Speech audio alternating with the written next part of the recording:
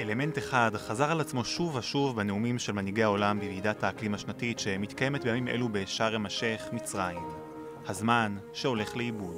The global climate fight will be won or lost in this crucial decade on our watch.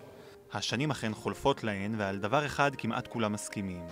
לא נעשה מספיק על מנת לבלום את ההתחממות הגלובלית ולפתור את משבר האקלים.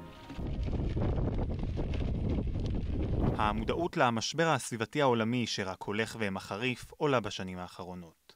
מדינות שונות חוקקו חוקי אקלים והציבו לעצמן יעדים לצמצום פליטות ולמעבר לאנרגיות מתחדשות. בשנים האחרונות, מגפה שפרצה ומלחמה שהחלה הגבילו את היכולת של המדינות להתמודד עם הנושא.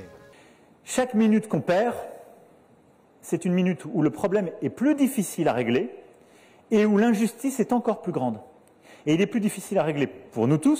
Et l'injustice est encore plus grande pour les pays qui sont déjà les plus victimes.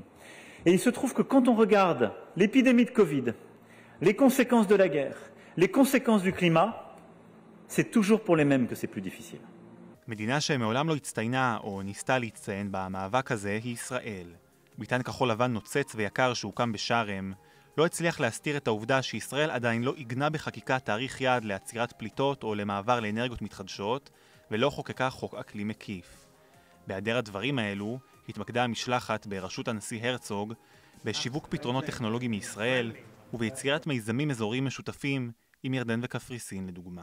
I envision that in the foreseeable future the solar energy produced in the deserts of the Middle East will be available for exportation to Europe, Asia and Africa. יותר מ-30 אלף בני אדם מ-194 מדינות שונות הגיעו לוועידה בשארם, רובם בטיסות מזהמות. 24 מדינות בלבד הגיעו עם תוכנית אקלים מעודכנת, סין והודו, שיאניות הפליטות, לא ביניהן.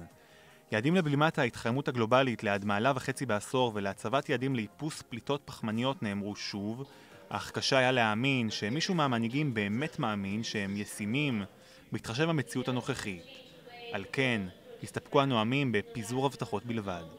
Wir werden aus den fossilen Brennstoffen aussteigen ohne Wenn und Aber.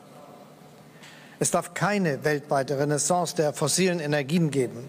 העולם לא מתחשב בנאמר בשארם וממשיך להתחמם. החודש האחרון באירופה היה האוקטובר החם ביותר בהיסטוריה של היבשת. הקיץ שחלף לווה בשרפות ענק ובאסונות אקלימיים רבים, ואם לא יימצא פתרון קסם, גם העתיד נראה קודר.